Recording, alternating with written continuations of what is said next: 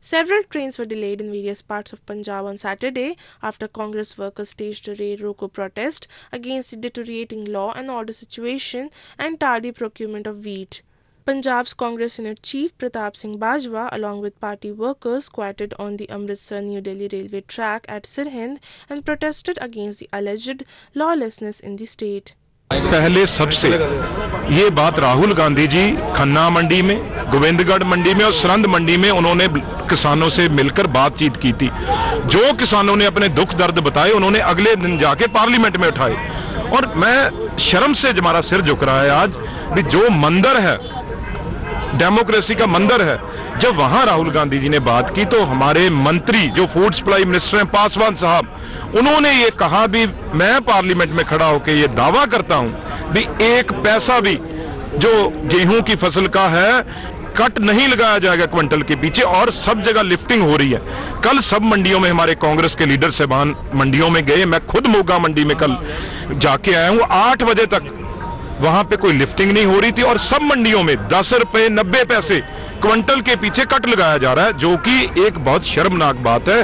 आज ये एजिटेशन हमारा रोल रो, रोकने का है और ये एजिटेशन चलता रहेगा जितनी देर किसानों को हम न्याय नहीं दिलाते। दूसरा ये जो मोगा में हुआ था उसको लेकर भी देखो उससे तो दुख की बात कोई है ही नहीं।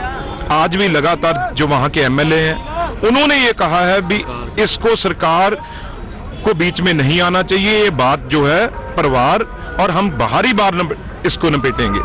और दूसरे मंत्री ने ये कहा है ये तो भगवान की मर्ज़ी है इसमें हम क्या कर सकते हैं? तो मेरी ये बहुत जो शर्मनाक बयान दोनों दिए एक तो अगर आप कुछ नहीं कर सकते तो सरकार का मतलब क्या है? आप सब सरकार वाले छोड़ के अपने हाथों में चूड़ियाँ डाल के बैठे तो उस लड़ाई को आज भी हम दोनों वो इशू है। दूसरा ऑर्बिट बस का। कल को परसों को ये चलता रहेगा, जितनी देर ऑर्बिट बस बैन नहीं होती। और सुखवीर सिंह बादल के एफआईआर दर्ज नहीं होती ये लड़ाई चलती रहेगी और कल से ये ऑर्बिट बस को किसी भी सड़क पे कांग्रेस पार्टी चलने नहीं देगी The protesters sat on the railway tracks from 12 noon to 1 pm and raised anti-government slogans during the agitation. The rail loco protest was also staged by Congress workers in Ludhiana and Patiala. Reportedly, the impact of rail loco was visible in Ludhiana, Beas, Amritsar, Tarantaran, Jalandhar, Ajitwar and Firozpur among other areas. From various ANI euros